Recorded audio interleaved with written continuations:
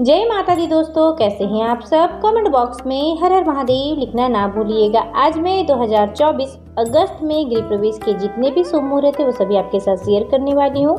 यह शुभ मुहूर्त मैं आपको पंचांग के अनुसार बता रही हूँ। अगर आप चाहें तो अपने नज़दीकी किसी पंडित या फिर ज्योतिषी के साथ इस मुहूर्त को साझा कर सकते हैं। गृह प्रवेश से रिलेटेड मैंने बहुत सारे वीडियोज़ बनाए हैं, जिसका लिंक आपको डिस्क्रिप्शन बॉक्स और इन स्क्रीन में मिल जाएगा, उसे भी ज़रूर देखिएगा।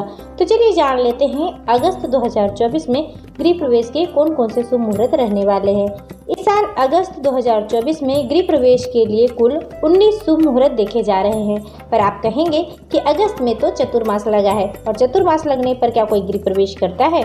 देव शयन के बाद कोई भी शुभ मुहूर्त नहीं होता। पर आपको बता दें कि जब चतुर्मास लगा हो और श्री नारायण हरि निद्रा में लीन होते हैं, तब हमारे संसार का कार्यभार भगवान शंकर के हाथों में होता है और अगस्त के महीने में सावन होता है और सावन में भगवान भोलेनाथ पूरे परिवार के साथ धरती पर विराजमान होते हैं और हमारी पृथ्वी का संचालन करते हैं।